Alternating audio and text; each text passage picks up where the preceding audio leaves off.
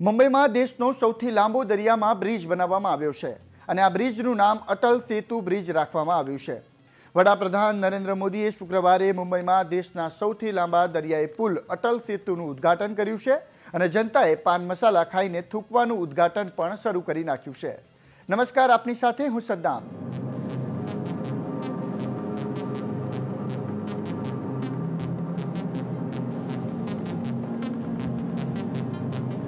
દસ દેશોની મદદથી બન્યો છે અટલ સેતુ બ્રિજ, જેની લંબાઈ સોળ પોઈન્ટ પાંચ કિલોમીટર છે, આ પુલને ખુલ્લો મૂકતા બે કલાકની મુસાફરી ગણતરીના મિનિટોમાં પૂરું થઈ જશે.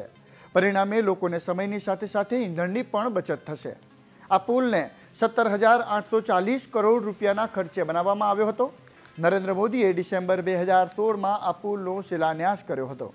અટલ સેતુ બ્રિજ મજબૂતાઈના મામલામાં અગ્રેસર છે. દાવો કરવામાં આવે છે કે ભૂકંપ ચક્રવાત કે જોરદાર પવનની સ્થિતિમાં પણ પુલ અડીખમ રહેશે. તેને બનાવવામાં લગભગ એક પોઈન્ટ ઇઠોતેર લાખ મેટ્રિક ટન સ્ટીલનો ઉપયોગ કરવામાં આવ્યો છે. પાંચ લાખ મેટ્રિક ટન સિમેન્ટનો પણ ઉપયોગ કરવામાં આવ્યો છે.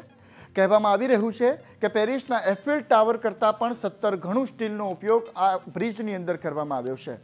કોલકાતાના હાવડા બ્રિજ કરતાં ચાર ઘણો સ્ટીલનો ઉપયોગ કરવામાં આવ્યો છે. એટલું જ નહીં, અમેરિકાની સ્ટેચ્યુ ઓફ લિબર્ટી કરતાં છ ગણો વધુ કોન્ક્રીટનો પણ ઉપયોગ કરવામાં આવ્યો છે.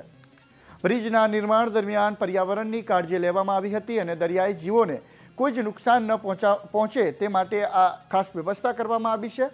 બ્રિજ પર ખાસ લાઇટો લગાવવામાં આવી છે, જે માત્ર બ્રિજ પર જ પડશે, આનાથી દરિયાઈ જીવોને કોઈ નુકસાન નહીં થાય.